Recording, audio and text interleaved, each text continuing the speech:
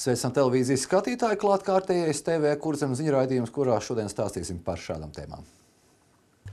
Liepainiekos sašutumu izraisa vēsturiskās eļas fabrikas ēku nojaukšana. Liepais reģionālās slimnīcas remonts kopumā izmaksās nepilnus 17 miljonus eiro. Topošais interjera muzejs svin spāru svētkus.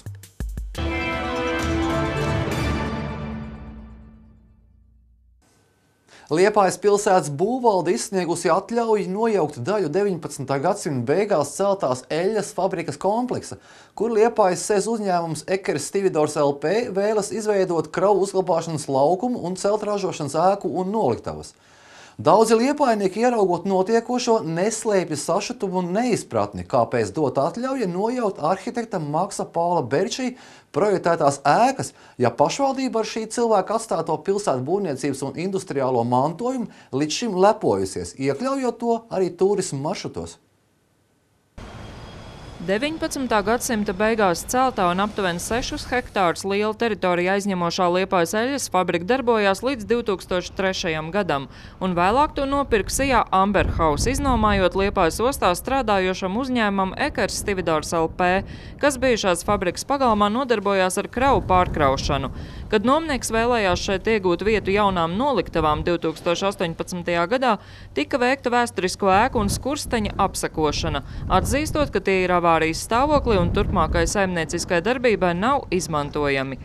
Liepājā dēļ ostas, dēļ tā, ka mums ir iespējams uzņēmējiem jāuzceļ jaunas noliktavas, kas ir vienkārši metāla, metāla kastes, mēs esam gatavi ziedot unikālu pērli, kāpt tam visam pāri, lai tikai gūtu varbūt pat izlaicīgu peļņu.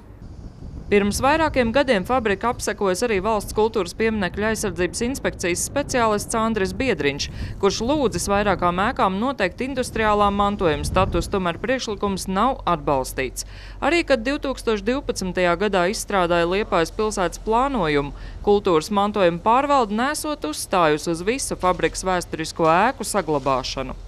Ja saglabā šīs, eh, šos eh, ēkas, kas atrodas gar Oskara Kalpaka ielu un gar Sliežu ielu, tad teritorijas iekšpusē ir iespējams arī cita eh, tātad saimnieciskais veids vai cita funkcijas un cita darbība. Ja? Nav, tātad šī prasība nav obligāta, kad ir jāsaglabā visa apbūve. Daudzi liepainieki sociālajos tīklos jau pauduši neizpratni, kā var nojaukt ēkas, ko projektējis Maks Pauls Berčī. Arhitekts, kura atstātās būves iekļauts vietējā turisma maršrutos, un pirms dažiem gadiem tika lepni prezentēts vēsturnieka Imanta Lansmaņa uzrakstītā grāmatā. Mēs, nu, tas ir karos glābšanas biedrība, mēs esam vairākus gadus piedalījušies industriālā mantojuma dienās arī Liepājā un, un piedāvājuši cilvēkiem skatīties no industriālā mantojuma objektus. Tie autobusi bija pilni, tie cilvēki arī Liepājā nāca un skatījās, un viņiem tas bija interesanti. Man ir tiešām žēl, ka iet postā mm, kaut kādas vietas, kaut kādas vērtības, nu, bet, nu, ko lai saka, nu, paši jau mēs esam tādus cilvēkus ievēlējuši, kas tā ir lēmuši. Liepājas būvvaldē uzsver, ka projekta izstrādes laikā vairāk kārt esot aicinājuši projektētājs un pasūtītājs pārskatīt ieceri par fabrikas ēku nojaukšanu. Taču tas nav darīts, un šajā gadījumā, kad tām nav piemērots industriālā vai arhitektūras pieminekļa status, pašvaldība privāti īpašnieki intereses vairs nevarot ietekmēt. Ines Ķester, Aigars Brečs, TV Kurzeme. Liepājas pašvaldība apstiprinājusi noteikumus, kas paredz pilsētā evakuēt automašīnas, ja tās netiek izmantotas ilgāk par 45 dienaktīm. Likums stāsies spēkā tikai tad, kad vidas aizsardzības un reģionālās attīstības ministrija to apstiprinās. Savukārt viens no Liepājas nama apsaimniekotājiem SIA LNA esot par minētajām pārmaiņām, jo no iedzīvotāja puses ienākot sūdzības par pamestām traucējošām mašīnām. Arī līdz šim Liepais pašvaldības policijai bija tiesības evakuēt gan pagalmos, gan uz brauktuvēm ilgi stāvošās automašīnas, taču tikai tādā gadījumā, ja tām nebija derīgas tehniskās apskates uzlīme. Statistikas dati liecina, ka pērn saņemtas 75 sūdzības par šādiem gadījumiem, un 14 reizēs mašīnas tika savāktas. Pārmaiņas esot bijušas nepieciešamas, jo pilsētā šobrīd atrodas divas ilgi stāvošas mašīnas ar ārzemju numuriem, bet pēc likuma pārvietot tās uz citu vietu nevarot. Ja noteikumi mainīsies, tad būs atļauts evakuēt visus visus transporta līdzekļus, kas netiek izmantoti ilgāk par 45 diennaktīm. Princips ir tāds, ka, protams, mēs paši nebrauksim, nemeklēsim mašīnas, kas stāv, bet tas būs uz iedzīvotāju ziņojumiem, zvaniem, iesniegumiem. Un, līdz ar to mūsu policijas darbinieki aizbrauks uz vietu, pārliecināsies, ka tiešām tāda situācija ir, tad atstās uzlīmi, kurā tad arī norādīts, ir, ka 45 dienu laikā tai mašīnai ir jāpārvietojās. Ja transporta līdzekļu īpašnieks reaģēs uz atstāto ziņojumu, tad automašīna netiks evakuēta. Pretējā gadījumā tā tiks nogādāta stāvlaukumā flotas ielā, un atgūto varēs apmaksājot stāvvietas un evakuēšanas izmaksas. Viens no lielākajiem nama apsaimniekotājiem Sija LNA, kurā uzraudzība ir 517 adrese, uzskata, ka izvirzītos noteikums jāapstiprina. Ņemot vērā, kāda ir situācija īpaši iekšpagalmos, kur ir ierobežotas teritorijas un operatīvam transportam jāpiekļūst, un šīs ilgstošas stāvošas mašīnas ir tiešām liels traucēklis. Tikai par iedzīvotāju jau vairāk kārt ir izrādījuši iniciatīvas un ziņojuši par ilgstoši stāvošām mašīnām. Ir arī bijuši gan pagājušajā, gan aizpagājušajā gadā bijuši gadījumi, jā, kad mašīnas tiek aizvāktas.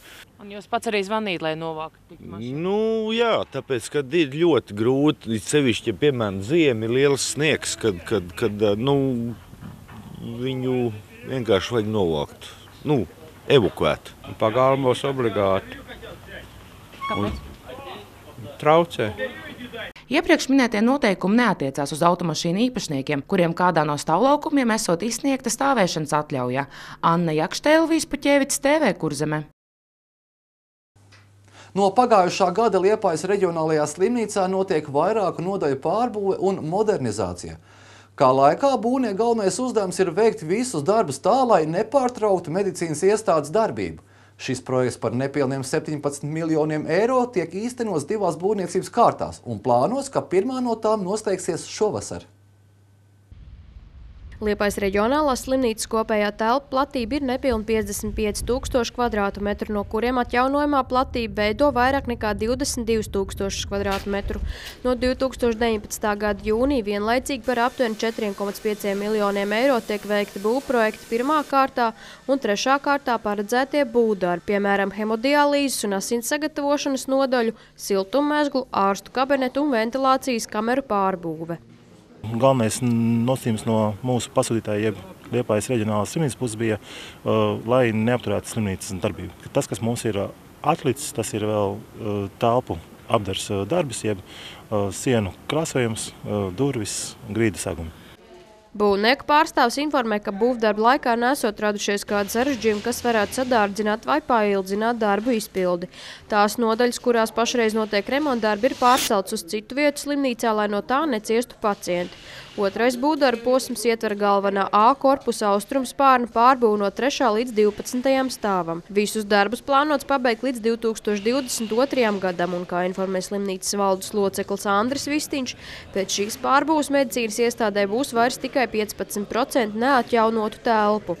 Iedzīvotāju skaits samazinās, bet ņemot vērā, ka uh, cilvēku dzīvības garums palielinās un cilvēku saslimstība arī nemazinās un viņa paliek sarežģītāka. Tā kā, nu, tas, tas tādā ziņā nav tā, ka tiek būvēts un nu, mēs īsti nebūs kas teiksim, viņās teiksim, mitināsies. Teiksim, tādus riskus mēs neskatām. Tāpat šī projekta ietvaros plānots iegādāties arī tādas medicīnas iekārtas kā anestēzijas un videoendoskopijas iekārtas operāciju nodaļā, digitālās mamogrāfijas iekārtu un citas. Kopējās projekta izmaksas ir nepilni 17 miljonu eiro, no kuriem lielāko daļu 85% finansē Eiropas reģionālās attīstības fonds. Līva Miezēla, Vispiķēvics, TV Kurzeme. Otradien Liepājā tika atzīmēti spāru svētki pašreiz restaurācijā esošai Hojeras kundzes viesnīcas ēkai, jeb tautā sauktajam Pētera pirmā namiņam, kur nākamajā gadā plānots iekārtot interjera muzeju. Pašreiz ir veikti apmēram 40% no plānotā, taču, kā uzsver būvdarba vadītājs, ja līdz šim vairāk strādās pie padomi laika uzslāņojuma likvidēšanas, tad šobrīd notiek vēsturisko elementu rekonstrukcija, piemēram, atjaunots mantais kurstenis. Jau ilgāku laiku Liepājā Kungielā 24 notiek Pētera pirmā namiņa pārbūva un restaurācija, lai 2021. gadā tur varētu iekārtot interjeru muzeju. Būvnieki informē, ka pārbūvas darbiem būtu jānoslēdz nākamā gada martā un pašreiz no ēkas ir atjaunota nedaudz mazākā puse.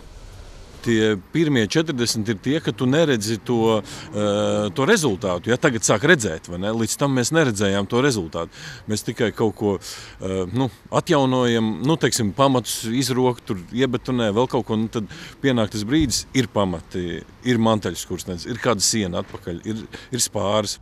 Pašreiz būvniekiem ir jāstrādā pie jumta pabeigšanas, savukārt darbnīcās tiekot veikta logu restaurācija un vēsturisko dēļu attīrīšana. Līdz šim ir izbūvēts manteļs kurstenis, kas ēkā atradās sākotnē, bet kādā no vēsturiskajām pārbūvēm tika nojaukts. Bet pēc grīdi ieklāšanas namā atpakaļ tiks montēts arī podiņu krāsnes, kas pašreiz tiek atjaunotas. Ļoti labi, ka ir saglabājušās daudz vēsturiskās lietas, kuras, par kurām jāizturās ar lielu respektu un pa, paralēli būvprocesam vēl ir tiek veikta izpēte. Arī tur atklājas daudz jaunumu, tāpēc šis process ir lēnāks, bet viņš ir darbietilpīgāks un līdz ar to viņš ir sarežģītāks. Tāpēc uzbūvēt jebkuru jaunbūvi tas ir daudz vienkāršāk. Pēc darba noslēgšanas nama pirmajā stāvā būs redzams agrāk tur dzīvojušās kundzes Margaretas Hojers viesu istabas un viņas privātās dzīvojumās telpas, kā arī tiek plānots, ka tur darbosies 17. gadsimta kroks. Savukārt otrajā stāvā, kas saistīts ar ēkas vēlāk laika izbūvu, būs 19. gadsimta Liepājas notāra Kristofa Vilhelma Stendera dzīvoklis. Es gribētu, lai tā māja tomēr dzīvotu kā tāda sadzīviski dzīvotu, ja? lai viņa nebūtu tāda, kur mums tikai tur tā uh, bīgi jāstaigā, un mēs, nu, protams, ka nevarēs visur sēdēt, nevarēs visu virināt, ja? bet, nu, tomēr, lai viņā būtu tā uh, sajūta, uh, kad ir tie saimnieki, vai nu viņi tikko ir izgājuši, vai nu viņi jums satiekās, lai tā atmosfēra būtu. Sākotnējā informācija liecina, ka projekta realizācijā gan no Eiropas fondu finansējuma, gan pašvaldības budžeta kopumā tiks izlietot vairāk nekā 2 miljonu eiro. Savukārt, runājot par precīzām projekta izmaksām, tās pēc Liepājas domas priekšsādātāja vietnieka Ata Dekšņa sacītā esot grūti nosaukt, jo katrs secinājums vai atradums būvprojektā ievieš korekcijas darbu tāmē. Līva Miezāigars, Brečs TV, Kurzeme. Tas šoreiz ziņās ir viss. Paldies, ka skatījāties un uz tikšanos atkal nākamajā ziņu izlaidumā. Uz redzēšanos!